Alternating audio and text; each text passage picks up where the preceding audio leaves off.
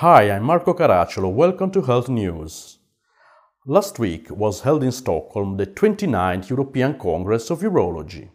The management and treatment of advanced prostate cancer is constantly changing, and the advent of new therapies and an enhanced understanding about the disease is leading to more patients being able to realize the potential of living longer and enjoy a better quality of life.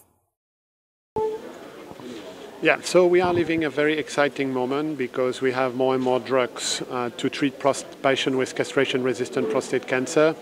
And especially we have drugs we can give before chemotherapy, new hormonal agents to delay time to chemotherapy, make them live longer and better. So really, uh, it is the time to speak with the patient, see what they're expecting from the treatment, and we as a urologist to learn how to give the right drug to the right patient.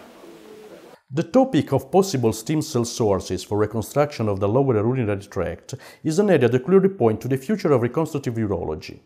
Mesenchymal stem cells are useful not just in cases of urinary incontinence, but different new indications like overactive bladder and erectile dysfunction.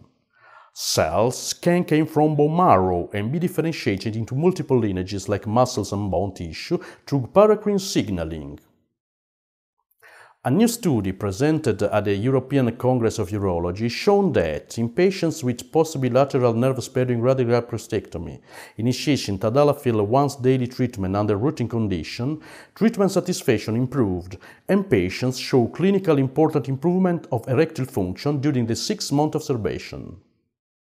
Another trial presented at the European Congress of Urology in Stockholm reports for the first time that pelvic floor exercises can be effective in treating premature ejaculation in men who have had lifelong problems. The International Society of Sexual Medicine defines premature ejaculation as ejaculation within a minute. So, this was the last news. Goodbye.